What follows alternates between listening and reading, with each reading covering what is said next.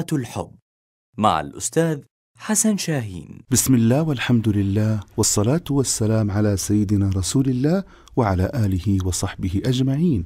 أيها الإخوة والأخوات في كل مكان أهلا وسهلا بكم.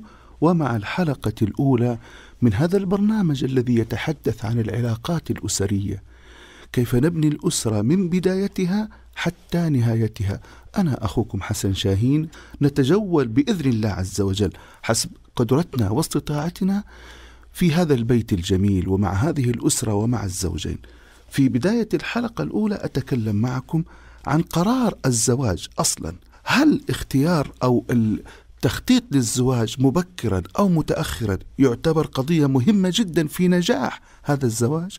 نعم. نعم وبكل قوة. أن تقرر أيها الشاب أن تقرري أيتها الفتاة متى تتزوجي؟ في أي وقت تتزوجي مبكرا متأخرا في أي عمر من حياتك هذا هو اختيار شخصي وهو حر. لكن أقول هو يصب في نجاح هذا الزواج. بعض الناس نضج عقله مبكرا آه، أصبحت أفكاره مستقرة أصبح مهيئا لكي يتزوج ويبني بيت. لا يعني ليس شرطا أن يكون المال متوفر معك المال لكن لا يتوفر عندك الاستعداد النفسي لكي تبني بيت. المرأة ليست لعبة إنه خلاص أنا معايا فلوس بابا معايا فلوس بدي أتزوج. لا أو الأب ثري جدا وغني جدا يزوج ولده في أي عمر على كيفه بما أنه الفلوس توفرت. لا. هذا ليس قرارا صحيحا. القرار الصحيح أن يكون الولد الشاب والبنت وصلوا الاثنين إلى مرحلة عقلية ناضجة تسمح لهذا الزواج بالاستمرار تسمح لهذا الزواج بالنجاح. في تلك الساعة يجب أن تبارك هذه الزيجة من الأب ومن الأم من الطرفين أب الفتاة وأمها وكذلك الولد.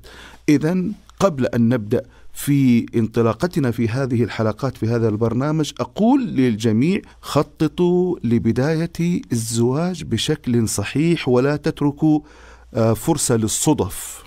الصدف لا تصنع زواجا ناجحا بل التخطيط والذكاء والفهم والإدراك والوعي والتفكير العميق هو الذي يصنع زواجا جميلا وناجحا ومطمئنا.